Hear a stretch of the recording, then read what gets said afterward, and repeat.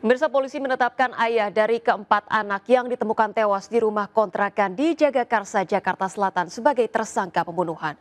Penetapan tersangka usai polisi melakukan gelar perkara.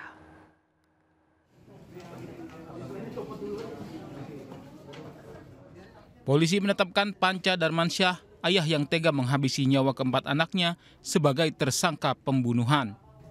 Penetapan tersangka usai polisi melakukan gelar perkara dan memeriksa 12 orang saksi.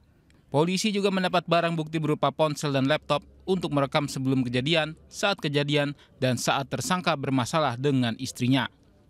Polisi menyebut tersangka mengakui perbuatan kejinya itu.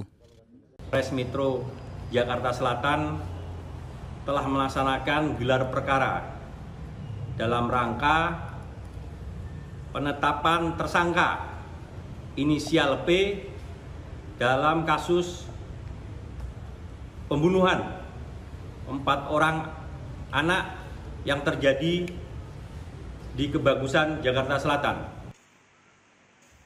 Kondisi tersangka sendiri dilaporkan makin membaik setelah dirawat di RS Polri. Tersangka jalani perawatan setelah ditemukan sejumlah luka akibat sayatan benda tajam di tangannya.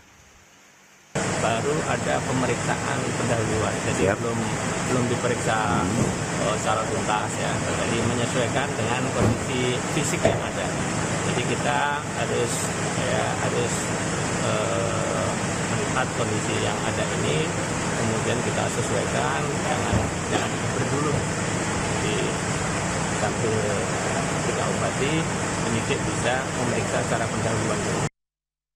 Warga temukan jasad empat anak dengan usia satu tahun hingga enam tahun di rumah kontrakan mereka di Jagakarsa, Jakarta Selatan beberapa hari lalu. Diketahui para korban merupakan kakak beradik Sementara polisi temukan ayah korban di dalam rumah dengan keadaan tangan terluka sehingga dievakuasi dan dirawat di rumah sakit.